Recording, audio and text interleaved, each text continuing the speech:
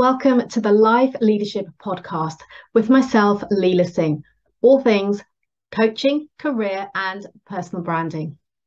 This podcast is for ambitious career professionals like you, wanting to create a life of choice and freedom, to be, do, and have more through overcoming limitations, to develop new perspectives and insights, and to redefine your success, be that in work, health, relationships, and so much more.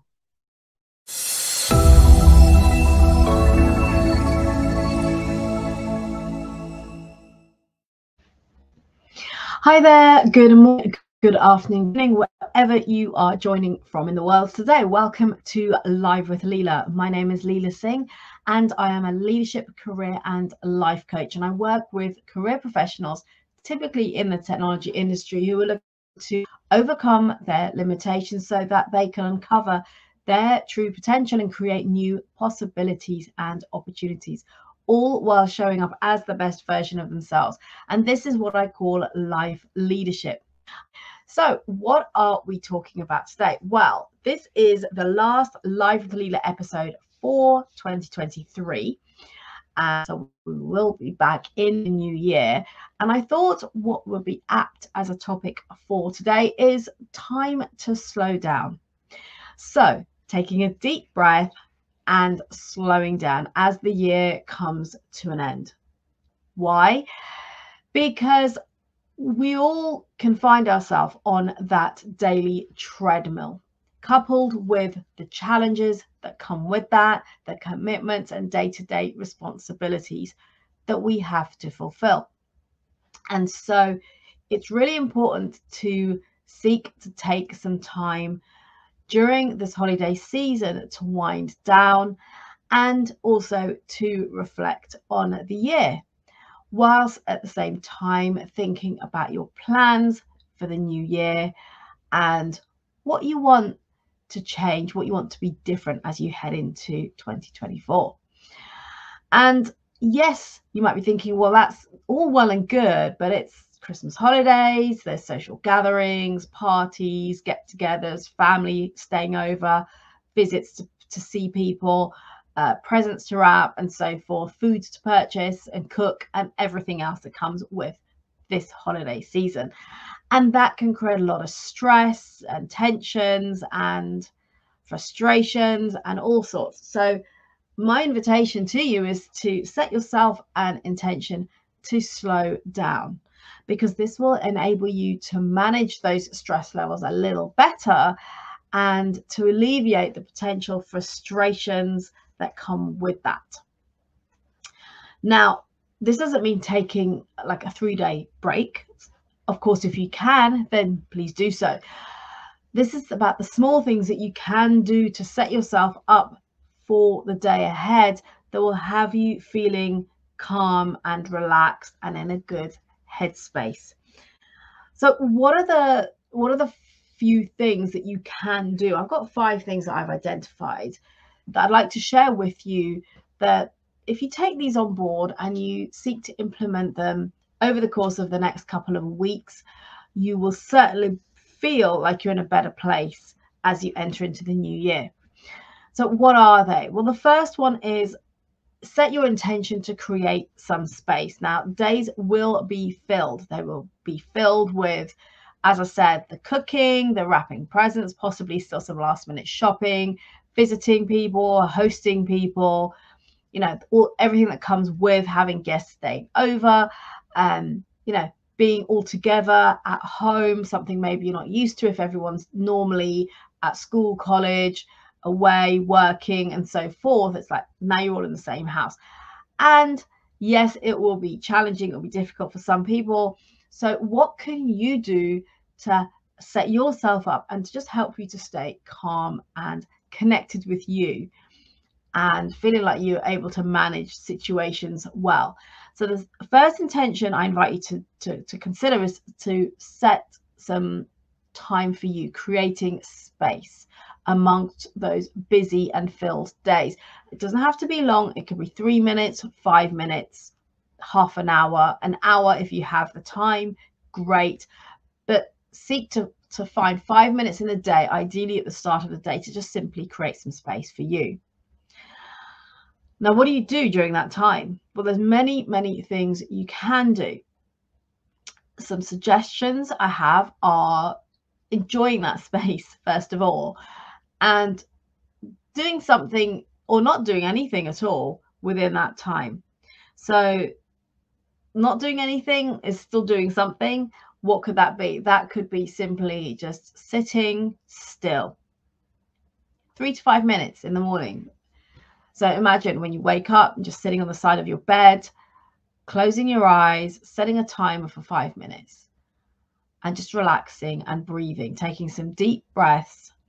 And your mind will wander and you'll have that to do list going on in your head and all the things that are happening today and, and so forth and what you haven't done yet bring your focus back to your breathing and just simply focus on your breathing. And yes, your mind will go off again and think of other things and maybe start stressing about the new year and what you have done, what you haven't done, and so forth. Bring yourself back to your breathing. And as I said, aim for three to five minutes as an absolute minimum to just create that calmness at the start of your day. What else can you do? Well, if you have a little more time, whether that's a quarter of an hour, an hour, a couple of hours, a day to yourself, even, awesome. Then make the most of it. So, what can you do? Things that will help you to just slow down, unwind, create some calm and some space around you. Things like going for a walk, just the fresh air, being able to breathe in that fresh air, clear your mind, gather your thoughts, get some movement in your body, exercise, all of those good things. So, walking as a start, possibly reading. Maybe it's something you don't often get to do. Find some time to just sit down and curl up with a book and have a read. Spending time with loved ones, always good for the soul. Enjoying time with your family, with your friends. So, what can what is that for you? What can you do to really create some enjoyable, relaxing downtime? Maybe it's taking a nice, hot, relaxing bubble bath or going for a massage. So maybe if you check, if you're somebody who enjoys massages and spa treatments, checking if one of your local places open over the holidays, you can book yourself in for a relaxing treatment. So those are just some ideas of things that you can do. I'm sure there's plenty more that you can think of, but just remembering to create some space for what we can call self-care to enable you to slow down, to give yourself some time and not only be focused on everyone and everything else over the coming days. It'll just help you to feel better, to feel more calm, in control, relax. And actually, the next point, which is being present. So, number three, slowing down so you can be present and enjoying the moment because when we're not slowing down, when we're not present, we're busy thinking of that to do list and everything else that needs to be done, even in the moment when we're actually spending time, let's say, with family, with loved ones. And so you're not really there, you're not really present because you're thinking, worrying, stressing, planning, and all of that, but everything else. So by slowing down, by creating that, even that five minutes in the morning and enjoying that space, whether it's just doing the breathing, going for a walk, whatever works for you, is that allowing yourself to stay present in the moment throughout each part of the day. So when you are maybe focusing on some work or organizing things, and focus on that and that only. When you're spending time with your loved ones, be with them, be fully present, and, and let go of anything else. Be in that moment and really experience it, enjoy it, and treasure it. So slow down, be present. Number four, create some simple rituals. For example, breathing or meditation. There's lots of apps you can get, or, or, or even you, on YouTube, there's a lot of things on there for meditation, for grounding. Check out something, find something that resonates for you that you can spend some time doing. Create some daily rituals into your life that you can embark on upon into the new year as well to set you up for the days ahead when you're back at work. So, whether it's meditation, whether it's some exercise, perhaps you've let that wane, and you can start by doing even just 15 minutes a day of exercise, going out for a walk, doing some stretching, you know, going for a swim, playing some sport, going to the gym, whatever works for you. identifying it, making it as easy as possible for you to follow through on. Sleep is another one. Sleep is something really important for setting us up for the day. So maybe your ritual or your intention is to start going to bed earlier, waking up earlier, whatever that might be, sleeping longer, getting an extra hour in bed. What can you do to make that happen? And over the holiday season, it's a great time to play with these ideas and these intentions so that by the time you get to January 1st, it feels easier to get into those habits. And all of them, all the things I've mentioned, and there's so much more that will have you feeling grounded and calm and centered and setting you up for the day. One of the things that works for me is some stretching and yoga. That really helps me to clear my mind, clear my head, and set me up for the day. Another thing is walking, which also I find a lot of benefits from. So see what works for you and what you enjoy so that it makes it easier for you to follow through and keep it going as well. And then finally, a little bit of reflection time, reflecting on the year, how far you've come, what you've accomplished, where your challenges have been, what you've learned from those challenges, how you've overcome adversity, and thinking about your future, thinking about the year ahead and what you want from 2024, what you want from the year, whether that's in your personal life, your relationships, your health, your work, whatever that might be. Just starting to play with ideas and think about what would I love to be able to say this time next year about my life and what has changed and where I am right now. Think about that. Just be playful with it. What I will do is I invite you to reflect back on last week's live, which is also now dropped on the podcast, Life Leadership with Leila Singh, all about reflection. And there's a process there to work through to really take time to reflect and explains the importance of that reflection time. So do go ahead and check out that episode. And in the new year, early in the new year, my next live, I will walk through a planning uh, vision process with you to set you up for the year. So in the meantime, I invite you to start to think about that, give some consideration to it, make some notes, maybe map out a little bit of what the year could look like for you, what it is you want to change, to improve, to work on, to develop, where you would like to be this time next year.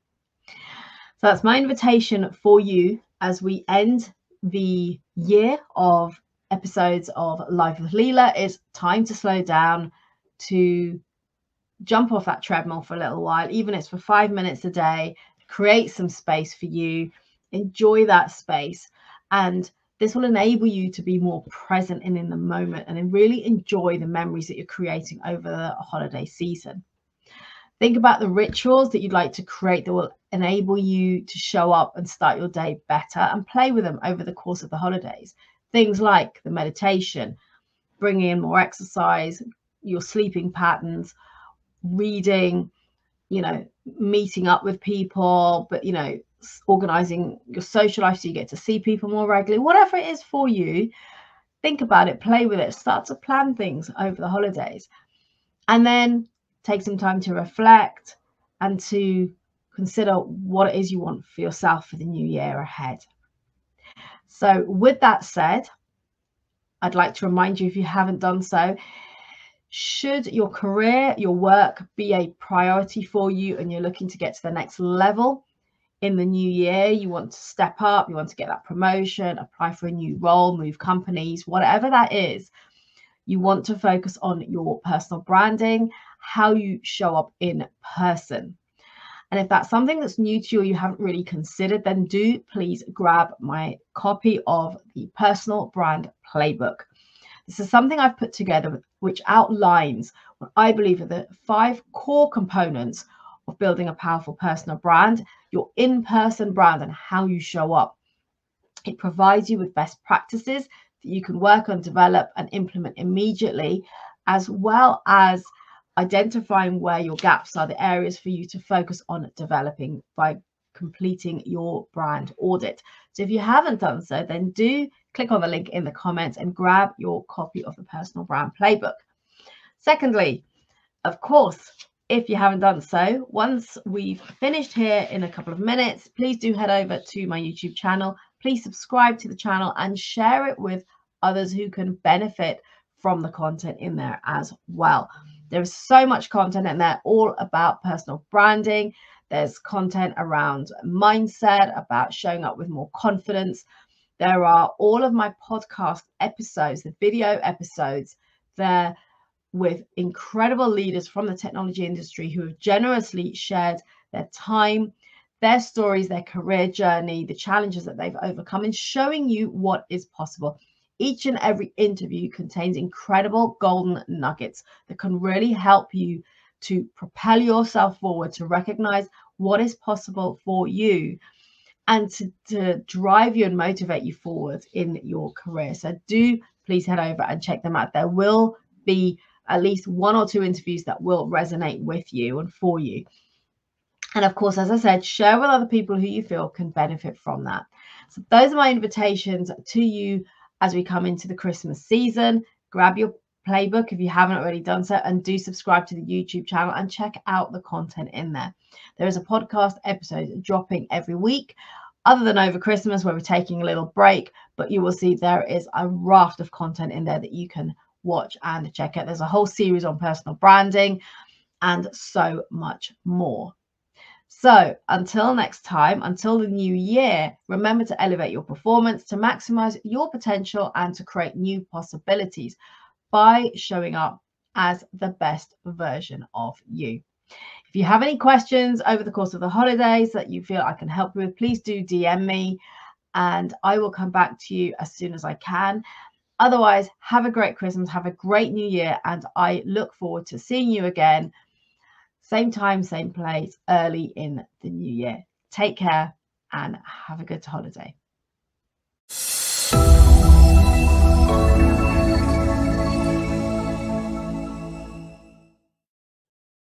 Thank you for listening. Please subscribe to this podcast if you haven't already done so. And if you enjoyed and gained value from today's episode, then do please leave a review telling us your key learnings and what you enjoyed the most. And do please share this podcast with your friends and colleagues so we can spread the word on life leadership, creating a life of choice, freedom, and new possibilities. Connect with me directly on LinkedIn. And if you would like to learn more about how we can work together, either DM me on LinkedIn or email me. All details and resources can be found in the show notes.